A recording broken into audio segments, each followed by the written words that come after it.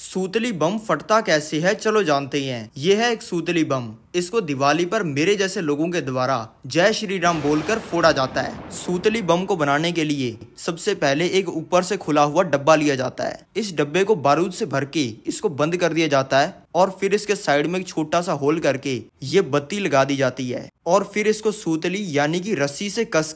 इसको रेडी कर दिया जाता है अब मैंने सूतली बम की इस बत्ती में आग लगा दी है और अब इस बत्ती की आग धीरे धीरे करके बारूद तक पहुंच रही है इस बारूद के अंदर मौजूदा तीन चीजें चारकोल सल्फर और पोटेशियम और अब बत्ती ने बारूद की इन तीनों चीजों के अंदर आग लगा दी है चारकोल और सल्फर ये एक दूसरे के साथ में रिएक्ट कर रही हैं और रिएक्ट करके गैसेस प्रोड्यूस कर रही हैं और अब ये पोटेशियम इनको ऑक्सीजन प्रोवाइड करके इसमें गैसेस को बढ़ाता जा रहा है जिससे इसमें प्रेशर बढ़ रहा है लेकिन सूतली की वजह से फट नहीं पा रहा है अब हर मिली इसमें प्रेशर कई गुना बढ़ता जा रहा है और अब दस गुना प्रेशर होने के बाद में ये फट गया है